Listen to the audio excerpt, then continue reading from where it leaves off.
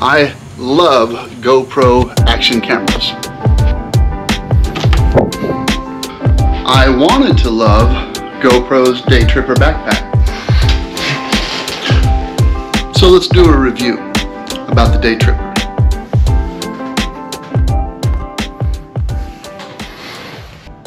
Thanks for joining me. This is my review of the GoPro Day Tripper backpack. If you subscribe to my channel or if you've seen any of my other previous videos, then you know that I'm a big fan of the GoPro product. I have a GoPro 7, I have a GoPro Hero 10 Black, and those cameras have become the foundation of my channel, at least as I get started. I use GoPro accessories extensively. So bottom line, I'm a big fan of GoPro. So as I got ready for my recent trip to Mexico, I wanted to have a backpack so that I could have everything that I needed in it. I wanted something that was well built and always ready to go. While traveling in Mexico, I took the GoPro backpack on several different outings to different locations and really put it through its paces. I've also traveled quite a bit here on the West Coast and used it several times both in airplanes and getting in and out of Ubers and rental cars and have tested it out very thoroughly for the past two months. So at this stage, I feel I'm pretty qualified to give a competent review on the GoPro Day Tripper backpack. So just to give you a preliminary review of the backpack and its design, the GoPro Day Tripper is a 15 liter backpack that's designed for day trips, for day use. It really is limited in what it can carry and contain. It's built primarily out of vinyl on the exterior with a nylon mesh undercarrier. The inside has a soft lined compartment which can accommodate a 15 inch laptop it's also designed to accommodate a two liter hydration pack. You can run your hydration hosing through this section in the panel and that way you can have efficient hydration while you're on hikes or out in the uh, countryside. On the shoulder straps, this GoPro backpack also features this camera mount, which is convenient for capturing hands-free recording while you're hiking or out and about. The exterior is vinyl coated, so it's weather resistant. It is definitely not weatherproof. And the zippers close and in a way that is largely weather resistant as well. The dimensions of this backpack are 19.1 inches by 10.6 inches. And again, it's a 15 liter backpack. For $99, I decided to invest in the GoPro Day Tripper backpack because I thought that GoPro would have probably had the best design features to accommodate its specific equipment and gear. And overall, it's okay. We'll get into the specifics of that here a little bit later when we get into the details. So after over two months of use, I think I'm ready to give a recommendation one way or the other, but you're gonna have to stick around to find out whether I recommend this or not. So I've given you the overview. Now let's get this thing packed out with all of the things that I carry currently and then I'll get into the criteria of how I evaluated this thing. Let's get started. And it has enough room to accommodate pretty much everything that I take. My Volta grip,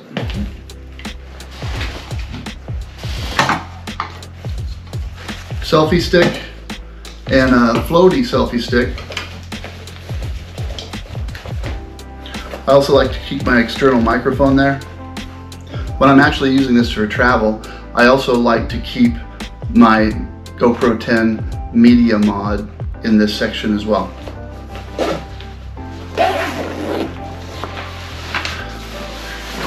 So there you have it. It's pretty much set for action. But let's set this aside for a minute. I want to talk about five different criteria that I evaluated the GoPro Day Tripper backpack on.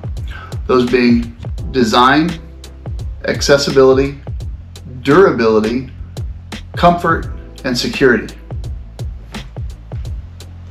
The Day Tripper is designed to be fairly small, narrow, sleek, easy to store underneath an airplane seat in front of you, but sufficient in size to accommodate all of your essential equipment, all of your cameras and accessories that you might need for a day trip. There might even be enough room in here for you to have a light jacket or a pullover, but not much more. we talked about the laptop storage section. Uh, what I found is because the straps come down over and in front of the laptop storage section, accessing your laptop is just a little bit of a hassle. You do have to peel those back to get access to the zipper, to get access to the compartment. That's a design feature that I don't love. And although most of the exterior is vinyl, although it's water resistant, it is not waterproof. And so this is not something that is going to stand up well and protect your expensive electronic items, particularly your laptop, if you're caught in a pretty substantial rainstorm. All of the zippers seem to work very well and they appear to give a pretty good weather resistant seal. However, on the side, the zipper track extends below the nylon uh, drink bottle storage section on the side. And so getting down and getting access to your zipper can be an issue.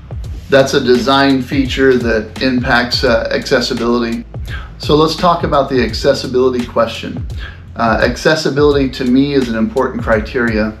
When I am traveling, when I'm using this, it's most likely going to be on a airplane or on a bus there are times when it might be under the seat in front of you or even in the overhead bin. If it's in the overhead storage bin, it's going to be hard to access the things that are in it in the first place. But if it's under the seat in front of you, it's particularly difficult because it was not designed with many exterior pockets. And so there are essential things that you need while you're in flight uh, whether it be a USB-A or USB-C charging cable for one of your devices, or you might be trying to uh, access your earpods or something else that you need in that moment. Pulling this out from the seat in front of you can be a, a little bit of a challenge. Um, and look, it's just a pain to have to pull it out altogether every time you want something out of it.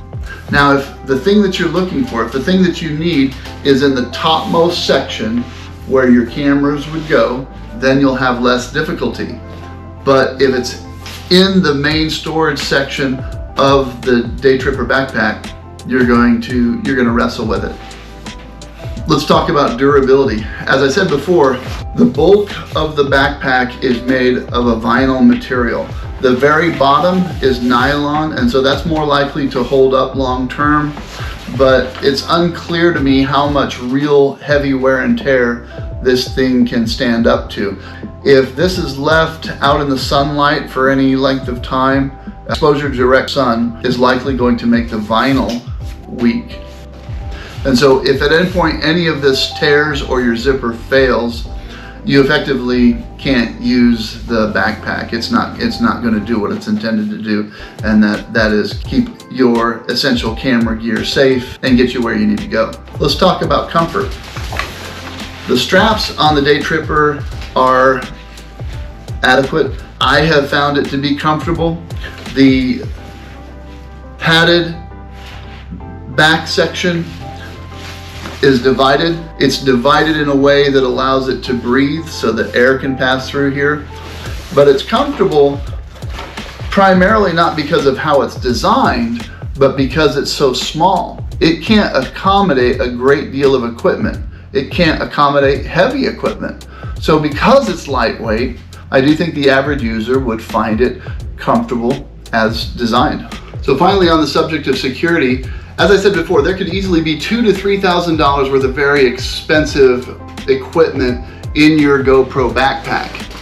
To advertise by way of the logo that you see here, um, unfortunately there are a lot of people who would love to make your stuff their stuff.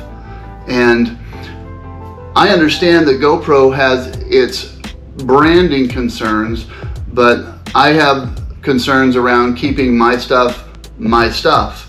And so I think that having that logo so prominently listed on the backpack is a potential problem.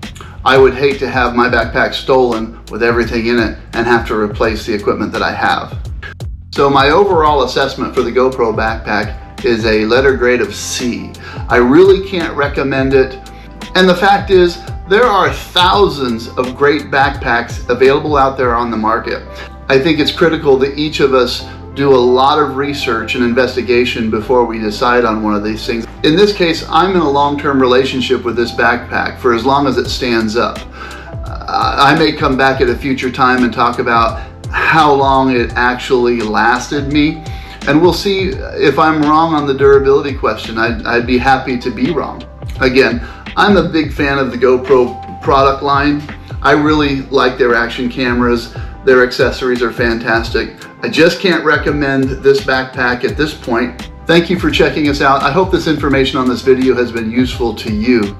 I hope that you'll come back and join us for our future adventures as we do other product and technology reviews. Once again, thank you for stopping by.